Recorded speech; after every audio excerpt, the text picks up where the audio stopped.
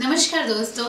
मिथुन राशि वालों के लिए अपने कार्य को सुचारू रूप से चलाने के लिए हमेशा समस्याओं से घिरा रहना पड़ता है, क्योंकि मिथुन राशि वाले मेहनत तो करते हैं और उनसे लोग प्रसन्नचित भी रहते हैं।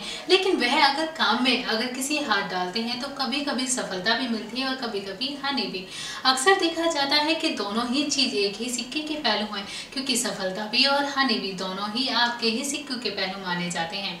लेकिन कभी कभी ऐसा होता है कि मिथुन राशि वाले हमेशा काम तो सुचारू रूप से करते हैं, लेकिन बाधाओं के साथ अगर किसी काम को शुरू कर रहे हैं तो उसमें यदि बाधाएँ आ रही हैं तो आपका काम बिल्कुल तरीके से नहीं हो पाता है।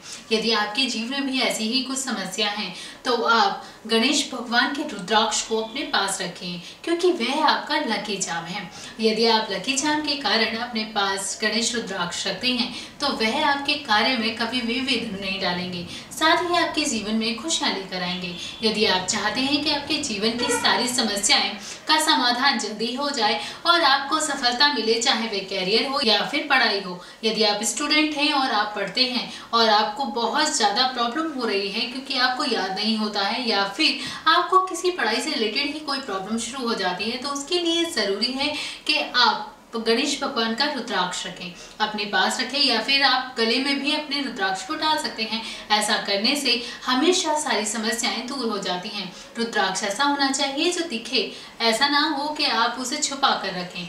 हमेशा अपने रुद्राक्ष को ऐसी जगह ही रखें ताकि वह हर किसी की नज़र में आए। ऐसा करने से आपके काम में आने वाली बाधाएँ अपने आप ही दूर होने लगेंगी और आपको सारी सफलताएँ आसानी से मिल जाएँगी। तो ये है मिथुन राशि वालों के लिए गणेश भगवान के रुद्राक्ष। सबसे ज़्यादा बेनिफिट रहेंगे और लकी चाम भी हैं। अगर आप मिथुन राशि वाले चाहते हैं कि आपको कोई बाधा ना हो तो आप इसका इस्तेमाल ज़रूर करें। मेरी इस वीडियो को लाइक शेयर एंड सब्सक्राइब करना ना भूलें।